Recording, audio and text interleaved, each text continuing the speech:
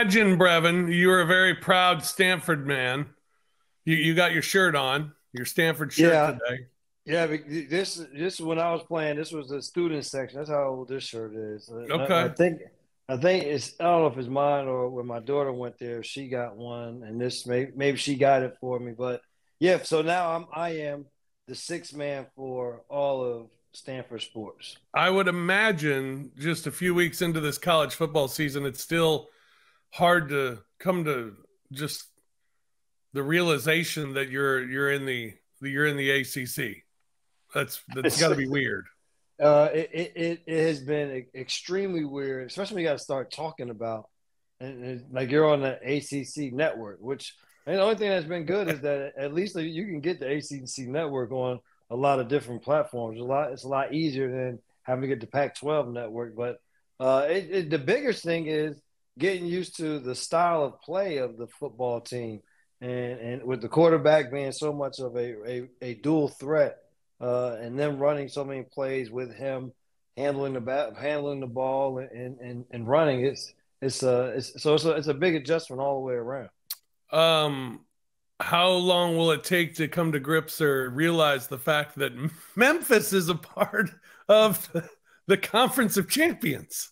Well, Memphis, I- Pac-12, Memphis Tigers. How about that? Uh, uh, this, this is uh, I I don't know if how I guess they'll keep all the records and we'll we'll that'll all keep going. But we always say you start looking at these conferences and just say that's not my conference, and and, and I, I think I'll look at this and say that's not my conference.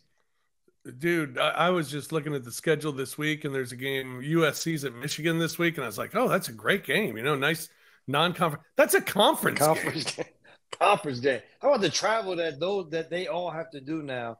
These West Coast teams between UCLA, USC, Stanford, Cal, what they have to do, Arizona, uh, the the the cross country traveling for these teams is is going to be inordinate. I guess the only one, the only teams that won't be as affected is the footballs because you just do it one time. It's not Right. as though you have to you'll have multiple times within a week of having to travel somewhere.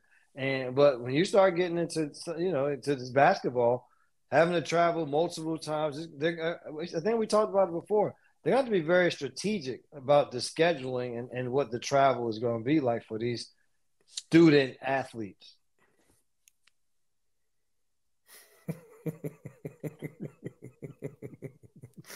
Uh, yes, oh, the poor student athletes. Welcome, everyone, to Knight Court. This is another edition of the large program. I am Rob Fisher, Brevin Knight here as well. We are with you. You can follow us on Twitter. I'm at the Fish Nation. Brevin is at Brevin Knight 22, the show at Knight Court 22. We thank you for listening to the podcast. And if you're watching the podcast, thank you for watching the podcast. And if you're listening, we, you can watch uh, every week as well on the Bluff City Media YouTube channel. And of course, you can listen wherever you get your podcasts. We're getting closer and closer to the NBA season, Brevin, uh, because I know this because everyone keeps asking me, yeah, about to get traveling, huh? Or, or you excited? Excited? It's getting close. You excited? And I kept thinking to myself, oh my God, it is getting close. It's like a few weeks away. And uh, we're going to have basketball at FedEx Forum. Well, well, listen, in, in less than two weeks, we'll be we'll be doing uh, uh, an opener for training camp. We'll, we'll be doing training camp shows. The team will go to training camp, and then they'll start playing games. And, and the thing about it is, it's, it's been the longest layoff that we have had Oh, in a long in, in a long time. And I think for for that, I have had I've been as anxious as I've ever been to get back to calling games because this layoff has almost felt like a mini retirement. And what it let me know is I'm not ready to retire. I'm I'm I'm, I'm just I'm, I'm not at that point in, in any way, shape, or form. And so yeah, I'm chopping at the bit to get back there. And that, the other thing why we're excited is because you feel like you you have a chance to still be one of the better teams in the association with the guys that are coming back, with the new additions, putting it all together. Uh, it, the, the excitement for this team uh, is through the roof. Yeah, no doubt about it. I, I can't wait. Um, and you're right. It, it felt it felt like when the season ended and when the finals ended, it was like, oh my god, that's just that's the long. end. This has been forever. Yes. and yes. then now it's like, oh, just been it's been a long off season for sure. You know, when when you have new players and new players have to adapt to new coaches and have to adapt to teammates. Uh, we we've talked about one positive thing about this Grizzlies team this year going into camp is that you have everybody back. You know, everybody's kind of coming into camp, kind of knowing what you, to expect from Taylor Jenkins. They'll be able to just hit it right off the bat. Um, but they do have a completely new staff. How how big yes. of a factor is that? Uh, I think it's a huge factor because uh, not just in terms of X and O's, what your assistant coaches get done in turn or working out players, but there also becomes a trust factor that gets built up with, with assistant coaches because a lot of times they're the ones that are going to take get the bitch in the moaning from the players more than anybody. They're the ones that when they're in practice and they're the referees, guys are going to go at them. But then they're also the guys that when things aren't going well, they're able to come and talk to you or when you need something clarified or you want you are you may be going through something off the court you feel very comfortable being able to go and talk to those guys so i think as much as you talk about building chemistry and camaraderie on the court between the players there's also going to have to be a little bit of that done between with the coaching staff and the players now with as many people that are that'll be new to the game and so uh, i think as, as long as there's one focus, which I know that there'll be. Taylor Jenkins will do a great job at explaining and laying out exactly what they want to get done. Then I think there there won't be any blurred lines in terms of what the goals are. Now it's just a matter of getting to know one of each other's temperament and how we, how each other clicks, especially when things start to get heated. They they wanted to implement a new offense, kind of new offense last year obviously everything went to hell uh, and, and, you couldn't really implement anything. Uh, but uh, they finished last in the NBA offensively right. last year. Uh, so now to implement a new offense, how complex is that? Uh, it, it's, it's very complex, but I think it's going back to last year. You you couldn't have expected any level of consistency no. with the amount of lineups, players who may be available on a nightly basis it, it was it was too haphazard of a season because of the injuries in those situations that you you couldn't expect anything uh, that will resemble what they thought it was going to be at the beginning of the year. Uh, but this season, I, I, think it's it's it's tough in terms of you go in with your thought of this is what you would hope would work, and then when you get in there, you hope that it all works out the way that you had planned it to. But there there may be adjustments that have to be made. And so when you are when you're starting brand new in terms of what your schemes or what it may be, and then you also have to make an adjustment. That's just two steps over. If this was already something that was in place, guys were already accustomed to, it was a carryover from next year with a couple of changes and wrinkles here, then that's just making some adjustments. But this is going to be learning and adjustments that they may have to do uh, as the season g- continues to go along. But uh, I, I, think at, at the end of the day, it, it'll come down to the players being able to make plays. There'll be plays that probably to get guys in positions to be successful, but the availability of your major guys for the majority of the year, and the ability for them to grasp whatever the concepts are on the offensive and defensive end, but you don't want to cloud guys' minds with trying to overthink the game. You still want to allow just the, the ability to go out and play. Right. Uh, CBSSports.com, they did a ranking. I know how you love rankings. This oh, one is what we got now. They rank all the coaches in the NBA. Okay. They rank all the coaches in the NBA. Now, here are the categories on how they're evaluating these coaches. All right. Okay. Uh, track record, uh, performance against expectations, okay. uh, points of emphasis. Like, does your team take the right kind of shots? Do they allow the right kind of shots? Do they have ways of generating turnovers without fouling? Things like that. Uh, creativity, okay. player development, rotation management, and people management. All right. Good. Okay. Okay. All right. Uh, I got it. They have the they have these in tiers. Tier nine It, it says we don't know enough, and and it's basically five coaches who are new, along with Darko Rajakovic, former Grizzlies coach of the Raptors. They have him 26. Uh, Jordi Fernandez of the Nets, Charles Lee of the Hornets, Brian Keefe of the Wizards, JJ Redick of the Lakers, 26 through 30. We don't know. Can't rank those guys. At, at all. Yeah. Understandable. Tier eight, entitled I Wouldn't Be Enthused. Tier eight, I Hmm. Wouldn't Be Enthused. Wow. Number 25, Chauncey Billups of the Trailblazers. 24, Billy Donovan of the Bulls.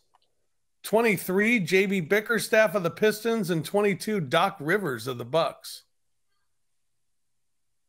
Your guy. My God. Wow. Not getting the respect. Getting the I think lot- respect. well, well, I think a lot of a lot of it was because they, they expected him to be a a driving force of turning things around in Milwaukee last year, and lo and behold, it was more than just the head coach where the issues lie with that team. Yeah. Interesting. Uh, tier seven, you look promising, but it's still a tad early. Looking promising, but still early. 21, Kenny Atkinson of the Cavaliers. 20, Willie Green of the Pelicans. And 19, Jamahl Mosley of the Magic. All right. Okay, Still, I, I like I like that tier. That's a good tier, right? you're see, you're seeing where people can go, and what Kenny Atkinson for him is what he did with Brooklyn, a a really a team that overachieved, and then did such a good job on the bench, you know, be, being with Steve Kerr and the Warriors. Yeah. So we'll see. Uh, tier six, middle of the road. Middle of the road. Number 18, Jason Kidd of the Mavericks. Seven, 17, Taylor Jenkins of the Grizzlies. 16, Quin Snyder of the Hawks. And 15, Michael Malone of the Nuggets. How is Quin Snyder in with those other three people? I don't, I don't, I don't know. That's a good question. I'm just, I'm, I'm just trying to figure out, uh, like, what, what, what is, like, how did that, how did that come about? How about Michael Malone? Uh, uh, uh, uh, that's, that's, I mean, I'm, I'm, I'm listening to the three names that you said. You said Michael Malone, Mike Malone, Taylor Jenkins. You said, uh, And then Quinn. the, the Quinn, but what's what's the other the other guy? and then uh, it was uh, Jason Kidd. Yeah, Jason Kidd. I mean, you you talking about three coaches who all whose teams were number one in their conference at some point in time, whose teams went deep into the playoffs, and, and then and then then you have the Hawks Right. and the Jazz before that. Yeah, not a lot. Not a lot. Um, tier five. Uh, it's a tier for to one person all alone. It's the living legend Gregg Popovich, ranked 14th. 14th for Gregg Popovich. Hasn't it won a, to see. Well, it stands to see. I mean, how can he win with today's generation of player? yeah, uh, hasn't won a playoff series since 2017, which is uh, a little surprising. Uh, a, tier a f- different game. Yeah. Tier four, the obvious floor raisers. 13 is Mike Brown of the Kings. 12 is Chris Finch of the Timberwolves. 11, Joe Mazzulla of the Celtics. 10, Tom Thibodeau of the Knicks. 9, Mike Budenholzer of the Suns. And 8, Ime Udoka of the Rockets. What was the name of that category? Who were they? The obvious floor raisers. Yeah. That means like they they these are the guys that that make their teams better. You think? Raise, elevate their teams. yes. I mean, again, Yeah. I, I I mean, you but he made Udoka up there. I mean, it's not. I mean, Houston Houston didn't. He only coached him for one year. Then he didn't Right. coach one year. Did decent in Boston. You got him ahead of you. Had, Budenholzer got. Budenholzer got fired because he couldn't. Right. That's what I'm about to say. Budenholzer didn't hadn't coached. right. He was he was he was he was he was fired after winning the conference in the regular season. Um, all right, let's see. The next tier, tier three, the Wonderkins. Seven, Will seven ranked seven on this list is Will Hardy. Bro. and number number six, Mark Daigneault. In the I mean, NBA. I, I, I, give Daigneault a lot of I give I give Daigneault credit. There's you've seen the results of his team. Like you've seen them get better. Like as much as we talked about how can you do this with young guys, well, number one, they've kept the majority of those young guys around, and those young guys have gotten better as right. as time has gone along. So I, I can I can kind of see there, but I mean Hardy, again, like I mean, maybe this is on some future forecasting that we don't understand yet. Yeah. All right. Uh, tier two are the elites. They call them the elites. Number five, Ty Lue. Number four, Steve Kerr. Number three, Rick Carlisle. And number two, Nick Nurse. Nick Nurse. Now, I, I give Nick Nurse credit because he thinks outside the box. I like Nick uh, Nurse. I, I, I don't know if I'd put him number two in the league. Me neither. I mean, I mean, I know who number one is, but yeah, this this is a this is again. You gave me some criteria as to how it was the point system, but I don't know. I don't know what the value of every category was because it, it right. could not. Have, they could not. Couldn't have all had the same weight. Right. All right. So there you go. There, there's your your coach's ranking. Number one, Erik Spoelstra, by the way. Right. Uh, if, if you didn't know, Erik Spoelstra right. at number one. Uh, also, this week in the NBA, following an NBA Board of Governors meeting on Tuesday, in New York Commissioner Adam Silver told reporters there was not a lot of discussion with the board regarding expansion, but not because it doesn't remain a sp- strong possibility that the league is moving toward adding another franchise or two. He said there was not a lot of discussion about expansion, but only largely because, not for lack of interest, it's because we had said two potential franchise suitors that were not quite ready. It's something that we told our board we plan to address this season, but we're not ready yet. There's interest in the process, and I think that we're not there yet with having made specific decisions about markets or even, frankly, to even expand. We're expanding, right?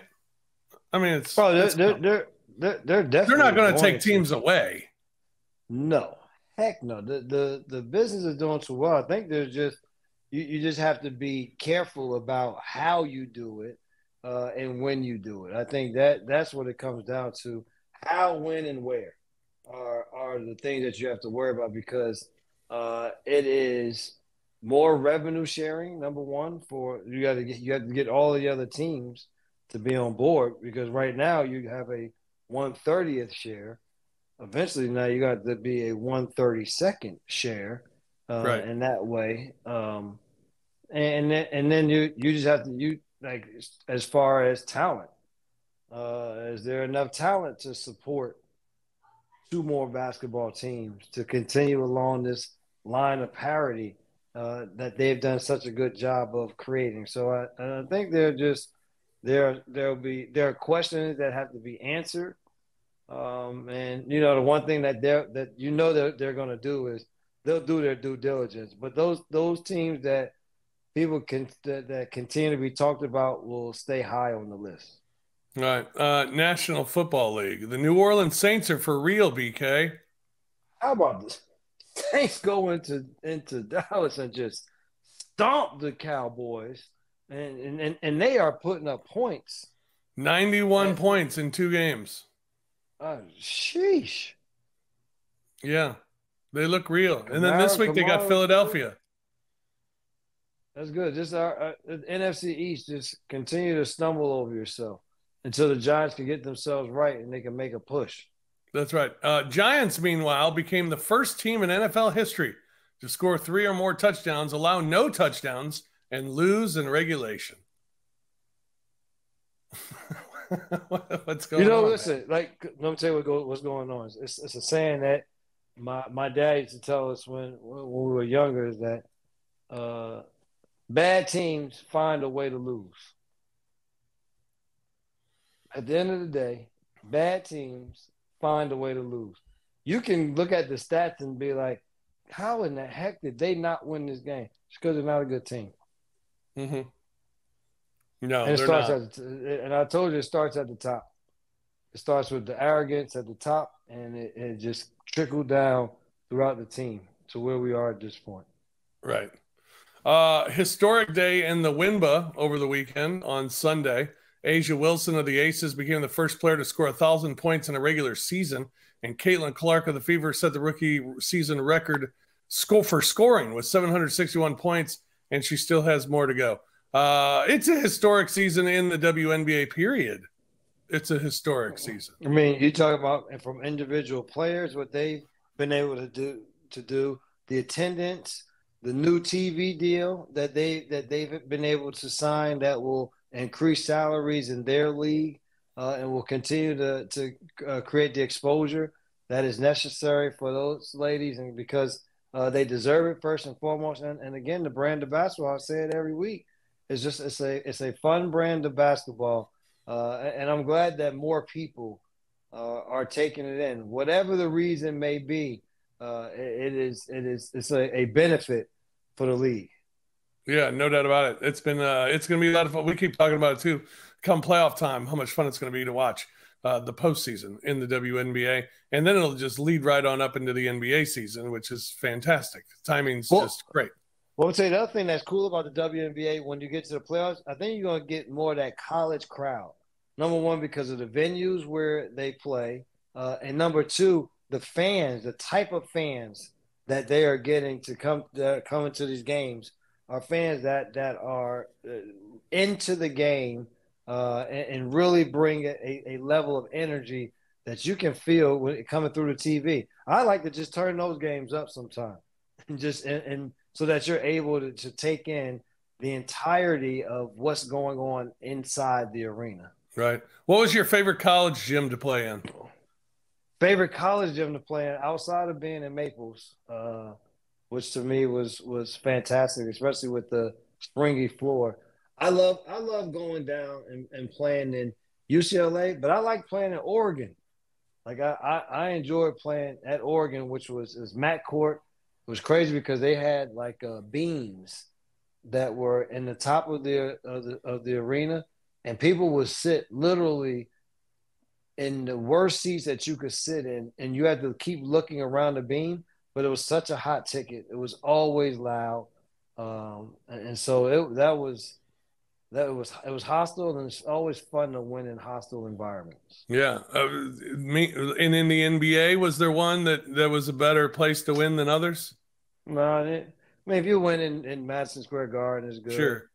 I, told you that, that the, the the the the NBA is is is so much the business of basketball, and it's the the nostalgia of either the arena or if you're playing against a some type of team dynasty. Uh, right. That makes it so. When I when we were playing against Chicago in my early career, and we were playing in the United Center at that time, it was like number one, it was super packed. They played the organs all the time. It was it was just uh, it was a, an entirely different environment and a tough place to play. Uh, and but that was all because very great fans, but it was because the Bulls were who they were. Right, right. Um, all right, uh, television. I got some television stuff for you. Uh, you I want to know who is your favorite commercial crew? Okay, and I'll give you some. I'll give you some examples. Uh, okay. You got the Wendy's people. They're kind of funny. Uh, kind of funny. Kind of funny. Uh, the progressive people, unbecoming your parents with Dr. Rick. I love those. He's great. Uh, the progressive people with Flo and Company. Flo is good. Uh, you got Lily from AT and T. No, you know the know the the familiar with this? It's the what's the bank one? Chase Bank. Um, is that that's is that them? Is, or is that isn't that what that has when you do Spike Lee and Chuck, Capital One? They, Capital One. Yeah, like Capital with Spike One and all them. Yes. What is Capital One paying them fools? Because Man. those guys act like fools on those commercials. They did. Yeah. I mean, it, every time I see one of those commercials with Barkley, Spike, and who else? Barkley, Spike, and uh, it's um Samuel know, uh, Jackson. Samuel Jackson. Yeah, and sometimes Jim Nantz. I think to myself, they they they're acting like they'll do anything. What are they paying those people? A, a lot. Oh no! Let me tell you the other one. Who's paying a lot of money? State Farm. Jake and company. Yeah. Uh, Hold on, they got everybody. I mean, they, they, Blake Griffin. They had Yep. the, the Lopez The. Lopez brothers. Yes. Exactly. I mean, Chris Paul. They had Cliff was with, with Chris. Yeah. I mean, they they started they started shelling out big time. Yeah. No doubt. And one of my favorites, I think, is Fansville. Dr. Pepper. Fansville is a good one. Also, getting all getting all of the Hall of all of the Hall of Famers back together. The Heisman House. Yep. Yeah. With all the Heisman winners come back to the house. I don't know. I guess, uh, winners. yeah, I guess I would go with, uh, Fansville might be my favorite. I love I love the Fansville with the the the, the fake town uh, of college football. That's that's not that's that's that's not a, that's not that's not a bad one. But there are a lot of good ones. Uh, uh, Unbecoming Your Parents with Dr. Rick is about as good as it gets. Uh, listen, I was the one with L. Cool J. He's like, Johnny gonna do the selfie. He's like, don't do the selfie. He's like, I gotta do the selfie right here. Yeah. All right, three, two, one. Say, don't count down. Yeah. That was, oh yeah, I, That one- I, I, I love it. That that's that I gotta say that's one of my better ones. Yeah, absolutely. Um, all right. Uh, what was else was I going to tell you? Uh, I was talking about Fansville. I had something about Fansville. No, maybe not. I don't know. I thought I had something else about Fansville. All right. you you were done. That's all I got. Uh, but I do have a toast this week. Okay, who you got? The Tigers football team. Hey, how about that one over Florida, Florida State? You don't want to be a part of us. We don't want you. We Dude. don't need you, Mikey. We Best- don't need you. Best part of it was they just went in and beat them. They were the better team. It wasn't it wasn't a fluke, nothing. They they were the better team for 60 minutes and walked away with a dub in Tallahassee. It was impressive. You know what they should have. You know what they should have played. Doom, doom, doom. Mm, And mm, mm, mm. they just, they just could have played. You know, they could just whoop that. Hey, Yeah. just- that's how. That's how you do it. It was uh it was impressive. So shout out to the Memphis Tigers in uh, their big win over the weekend over Florida State. That was pretty impressive. Now they got Navy this week and they got everything set in front of them uh, as far as possibly making it to the college football playoff. What a what an amazing year of college football with the college football playoff being expanded to 12 teams with NIL the way that it is. I mean, Tennessee's got a quarterback who's making 8 million dollars. That's just crazy uh, that all of this is happening in college football, and it's uh, setting up to be a historic year. And in this historic season, Memphis is in position uh, if they can keep winning games to to be a part of it. So, uh, shout out to the Memphis Tigers and uh, toast. I got to toast my my redhead friend. Hmm. Nice. Some of the best lemonade out there. Yeah, I was a little sad today, BK, because I went to the pool um, trying to keep my summer extending, and it was like 90 degrees outside today. So I decided I was going to go to the pool. Pool was freezing, but I got in, felt good, got a little, you know, one of them jolts to the system. Uh, That's not. Man, it's still ninety degrees down here, huh? I'm I'm on location. On location. This is. I'm at my Yeah. parents' house up here in the Poconos. Yeah, 90 degrees here today. No ninety degrees. Just seventy five degrees up here. Mm, I got in the pool. It was great. Except I kept thinking to myself, today I'm sad because today, quite possibly, is the last pool day that I'll have because uh, Coach Carl, my friend who has a pool, he he's out of town this weekend. I'm out of town next weekend. I mean, you're talking three weeks. Are we still going to be able to get in the pool? Three weeks. I, I hope not because I'll be back in town. So today was I'm- possibly the last day. I'm I am hoping very much so that there's no there are no more pool days by the end Mm. of September. Yeah, so that's kind of disappointing. Today, my last pool day. Shout out to the pool. It's been a great year at the pool. People will come up to me this people have been coming up to me all summer and they'll come up to me this fall and they'll come up to me this winter and they're going to say, "Dang, you got a good tan." They have been, BK. They have been. And I just say, eh, been at the pool all summer. So, to the pool. I'm going to Oh, miss you. that's a good one. I'm going to miss you. All right. Well, that's going to do it. You got anything else? I got nothing. You got nothing? I got nothing. I'm going. I'm going to enjoy my mom made my some of my favorite food tonight: uh, fried chicken and some some greens, mac and cheese, and sweet potatoes. So I'm gonna go back and eat another plate while we watch TV. When we uh when we talk next week, it'll be uh it'll be the week before camp, week before camp gets underway. So uh, we're getting close, and uh, basketball preseason games coming here in about three weeks, which is incredible. Looking forward to it. All right, that's going to do it for us here tonight. Thank you very much for tuning in and joining us. Don't forget you can watch every episode at the Bluff City Media YouTube channel. And you can listen to every episode wherever you get your podcasts. So uh, thank you much for being a part of the show. We'll do it again next week for BK. I'm Fish. Thanks for listening and tune in next week here on Knight Court. Peace. Thank you for listening to the Knight Court podcast. If you enjoyed Rob and Brevin, hit that like button, subscribe to the Bluff City Media YouTube channel, and enjoy the content. We will see you back here next time.